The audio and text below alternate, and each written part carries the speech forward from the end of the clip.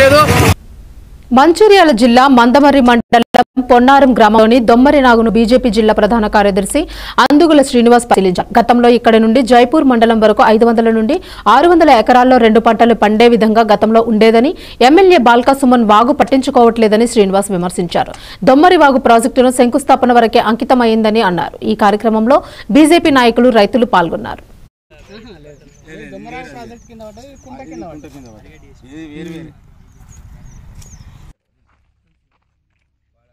వెనకారండి ఇటు వెనకాల.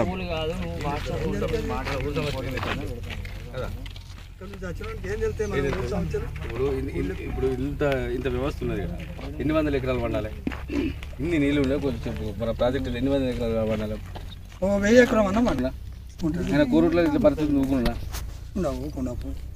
మరి ఈ ఇది ఈ దుమ్మరవారు ప్రాజెక్ట్ అనేది దాదాపుగా ఈ చెరువు కిందనే ఒక ఆరు వందల ఎకరాల భూమి భూమి సన్నగారు రైతులది ఉంటుంది. ఎకరం ఎకరన్నర అర్ధ ఎకరం. ఇంతవరకే ఇక్కడ రైతాంగం ఉంటుంది. ఈ రైతులకు ఆ వర్షాకాలంలో వచ్చిన పంట తప్ప మళ్ళీ రెండో పంట వేద్దామంటే ఒక నీరు చుక్క కూడా అందదు.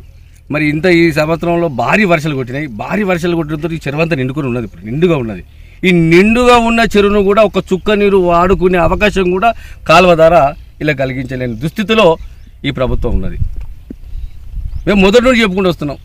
నియోజకవర్గ ప్రజలు స్థానికేతరుడు అయినా కూడా నిన్ను నమ్మి TRS party TRS party KCR గారిని నమ్మి ఏదో తెలంగాణ వచ్చింది మా బతుకులు బాగుపడతాయి ఆ ఎమ్మెల్యేనే గెలిపించాలని ఒక ఉద్దేశంతో కార్మికులు రైతులు నీకు ఓటేసి ఇక్కడ గెలిపిస్తే పోయి హైదరాబాద్లో ఉంటావు కానీ మరి ఇక్కడ ఉన్న సమస్యలు ఏవైతే ఉన్నాయో నువ్వు పట్టించుకోవడం లేదు.